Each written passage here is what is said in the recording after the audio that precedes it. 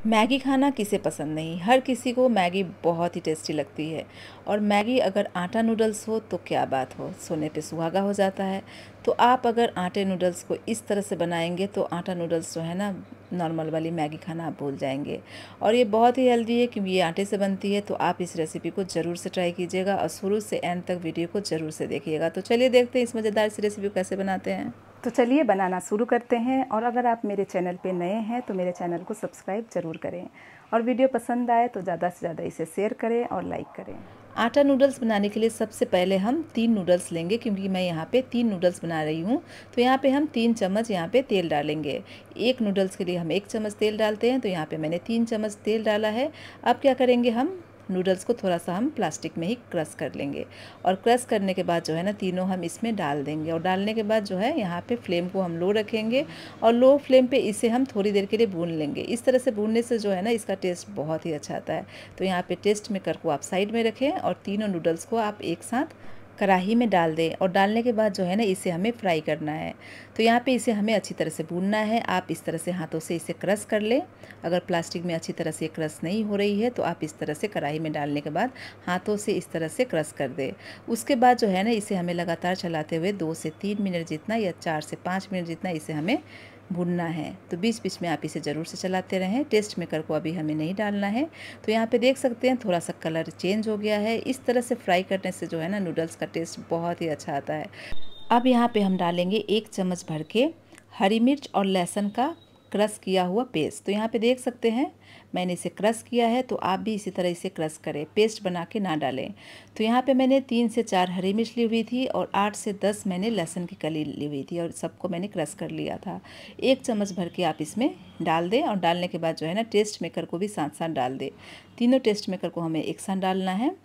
तो यहाँ पे तीनों को मैंने डाल दिया। उसके बाद जो है ना, इसमें हम डालेंगे मसाला मैजिक जो मैगी का आता है। तो इसे आप ज़रूर से डालें। इससे बहुत ही अलग सा एक टेस्ट आता है, जो कि बहुत ही टेस्टी लगता है। तो इसे बिल्कुल भी स्किप ना करें। एक पैकेट आप भर के इसमें डाल दें। थोड़ा सा आप नमक डालें, ज़्यादा नमक बिल्कुल भी ना डालें। क्योंकि टेस्ट मेकर में ऑलरेडी नमक होता है तो इस बात का आप ज़रूर ध्यान रखें। तो यहाँ पे मैंने थोड़ा सा नमक डाला है। अगर आप नमक नहीं डालना चाहते हैं तो स्किप भी कर सकते हैं। तो यहाँ पर इसे अच्छी तरह से आप ज़रूर से मिक्स करें, क्योंकि इसमें हमने मसाला डाला है टेस्ट मेकर डाला है। तो थोड़ा सा मसाला को भुनना बहुत ज़रूरी है। इससे बहुत ही अच्छा टेस्ट आता है। तो यहाँ पर इसे आप एक से दो मिनट जितना या दो से तीन मिनट जितना आप इसे लगातार चलाते हुए मिक्स कर ले। तो यहाँ पर मैंने मिक्स कर लिया है। अब इसमें हम डालेंगे चार कप पानी। तो तीन नूडल्स के लिए मैं यहाँ पे चार कप पानी डाल रही हूँ। अगर आपको ग्रेवी वाली चाहिए तो आप इसमें पाँच कप पानी डाल सकते हैं। लेकिन ऐसे ये ड्राई बहुत ही टेस्टी बनती है तो आप इस तरह से ज़रूर से एक बार ट्राई कीजिएगा। अब क्या करेंगे, इसे मिक्स करेंगे और ढक्कन लगा के जो है ना, एक बॉयल आने तक हम इसे मीडियम या हाई फ्लेम पे पका लेंगे। जैसे एक बॉयल आ जाएगी, आप ढक्कन खोल के इसे अच्छी तरह से मिक्स कर ले। उसके बाद जो है ना, ढक्कन लगा के इसे आप दो से चार मिनट जितना पका लें। उससे ज़्यादा हमें इसे नहीं पकाना है। इस बात का आप ज़रूर ध्यान रखें। दो से चार मिनट जितना ही हमें पकाना है। जैसे ही दो से चार मिनट हो जाए, आप ढक्कन खोल के इसे मिक्स कर ले। मिक्स करने के बाद जो है ना, आप देख सकते हैं, ग्रेवी जो है ना, बहुत अच्छी तरह से सूख चुकी है, यानी कि ड्राई हो चुकी है।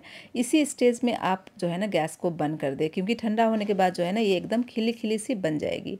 तो यहाँ पे अब हम डालेंगे बारीक कटा हुआ हरा धनिया का पत्ता। अगर आपके पास हो तो ज़रूर डालें, नहीं हो तो कोई बात नहीं, स्किप कर दें।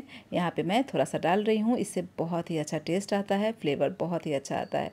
तो यहाँ पे इसे मिक्स कर लें, गैस को मैंने बंद कर दिया है। उसके बाद जो है ना, थोड़ा देर के बाद ही आप देखेंगे, एकदम ये खिली खिली सी मैगी बन के तैयार हो जाएगी।